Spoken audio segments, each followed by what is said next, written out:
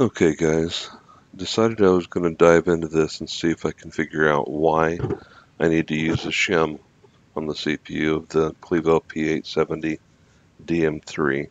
And as I started looking, I found that the CPU retention mechanism is making direct physical contact at the back edge closest to the hinge on the retention mechanism. Now if you look the, to the left of there you can see the C-clip.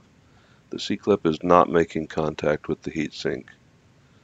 If you notice what I'm talking about, there's actually an airspace there. So removing that C-clip is not going to do anything to help. The interference with die contact, or the IHS contact I should say, with the heatsink is because the heatsink is hitting on the retention mechanism. You see what I'm talking about there? You can actually see a little bit of abrasion where it's been rubbing. Now if you move to the front, look what a big gap we have. We've got a big airspace here in the front. And it looks like the C-clip is in fact making contact with the heatsink at the front here. There's no airspace like there is at the other end. So the heatsink is not sitting flat on there. See what I'm talking about? The airspace right here. You see it's got a huge gap there. And it's got no gap at the back. So there's one reason why we need a shim. See what I mean there? There's no space there at all.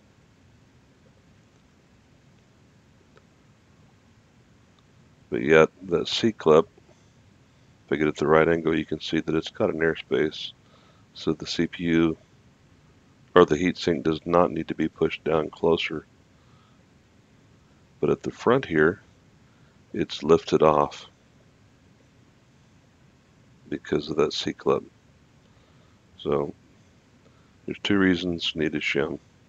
So we're going to take this apart and uh, look at it a little bit closer with the heatsink removed it's possible that if the heatsink copper plate is hitting on that C-clip here in the front, it's not able to make it sit level with this making contact back here. So I'm going to investigate that further. I just thought it was interesting that the front edge up here, there's an air gap, and then back here there's not. I can't see the other side well enough to tell. But I have no thermal pads on for the uh, VRMs and MOSFETs right now. This is just a dry fit. So I thought that was interesting to say the least. Now looking at it with the heat sink removed, laying a straight edge, which is a, an aluminum heat sink. See what I'm talking about back here? In the back corner, right here see the IHS and that's it's resting on this there's not any airspace to speak of but if I move this closer to the front you can see there is a big airspace right in here on each side so I believe what's happening is when you bolt the heat sink on, it's hitting on this bracket back here instead of resting on the heat sink. So by taking a shim, setting it there, that takes care of that problem.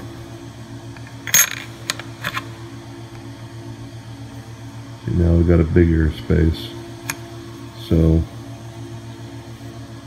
looks to me this bracket is either made wrong or it's bent because back on this back edge of the CPU closest to the fan here it's making contact with the bracket before it hits the IHS and if there's any bowing or distortion in this heat plate then that's going to be exacerbated if the uh, if the ears where the screws are start to fatigue and work inward, that's just going to make it even worse. So, interesting observations. Thought you guys might have appreciate what I found here. Again, if you look at that there, really hard to tell, and I don't have the greatest lighting in here. But it looks like I can see daylight from the flashlight coming underneath the IHS like it's being held up off of the side here. So now let's take a look at this heatsink itself and see what we can find. I've used this aluminum heatsink as a straight edge and it's resting on each end where the screws are and as you can see there's light shining through all the way across underneath. A substantial gap. It's probably mm, half millimeter. Maybe not quite a half millimeter, but enough to be a problem. We've got multiple things working against us. We've got a heat plate on the CPU heatsink that is not flat. Uh, so there's there's strike one.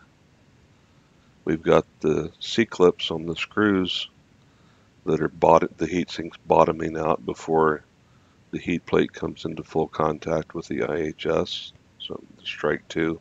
Then strike three, we've got one end of the heatsink making contact with that retention mechanism that isn't uh, really designed correctly. So not good. So now let's do a test fit you can see I've reduced my thermal pad thickness by half millimeter for both pads. There's uh, can't have four strikes in a ball game, but Clevo does there because they used thermal pads that were too thick and also holding it away. So I've got a small amount of Kryonaut there. And I'm just going to take this CPU heatsink without the screws and the thinner pads I'm just going to press down on it and see what kind of spread we get.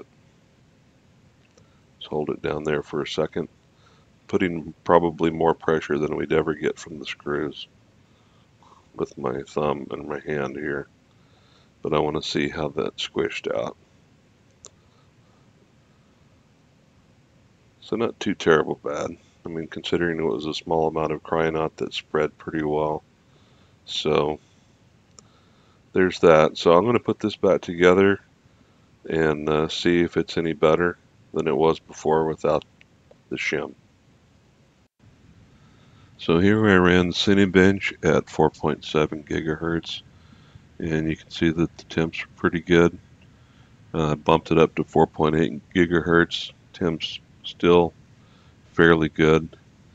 And then I ran a Fire Strike with the uh, CPU at 48 and GPU um, with plus 215, plus 600 on core and memory. So overall, not too bad. So what can we conclude from this? Well, I think it's pretty obvious that they've got a mess on their hands. And I think I'm going to go ahead and look into soldering a half millimeter shim to the CPU heatsink.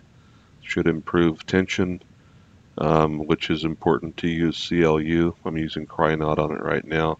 Not my favorite, but as uh, Prema discovered, removing those C-clips does help, um, especially because on one end uh, it's being held away from the CPU IHS. On the other end, it's grounding out on that bracket, so it can't even sit right. So uh, thanks for watching, and once I uh, mod the heatsink by soldering a shim in, I will uh, show that and report on the results.